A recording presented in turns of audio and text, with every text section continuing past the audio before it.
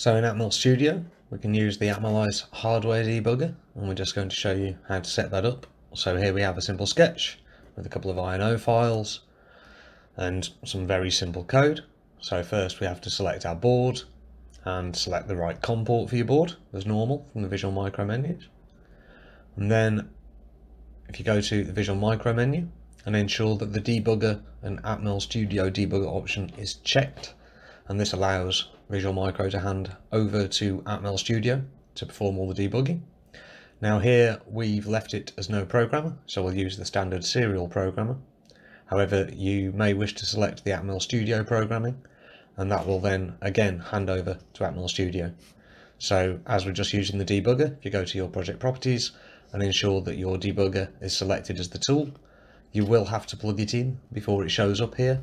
So if you can't see it, do make sure it's connected. So if you save all your options, and then we just need to go and set some breakpoints in our code.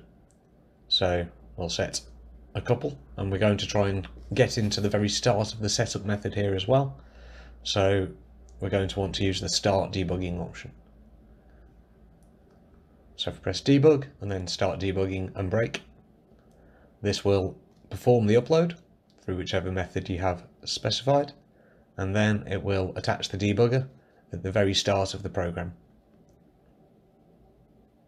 So be able to get into your setup code for example. So this is actually the start of the Arduino H that you see there, and then if you step again, you'll end up on your first breakpoint in setup. And we have the usual continue, and step over, and step into actions as normal. And of course you've got all of the watches and the standard serial monitor options available as well. So here we can see if we step into that method, the first thing that's evaluated is millis. So if we go and step out and then step back in again, we'll then step into the time diff function in our INO. So this can be a disadvantage if you do wrap lots of functions together. It can be harder to navigate when you're trying to debug.